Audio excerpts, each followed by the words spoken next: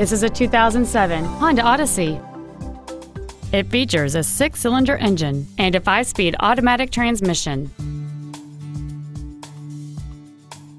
Features include a power moonroof, air conditioning with automatic climate control, cruise control, a CD player, a leather-wrapped steering wheel, front side impact airbags, a split folding rear seat, a HomeLink feature, a rear window defroster, and the heated seats can warm you up in seconds, keeping you and your passengers comfortable the whole trip. Call or visit us right now and arrange your test drive today.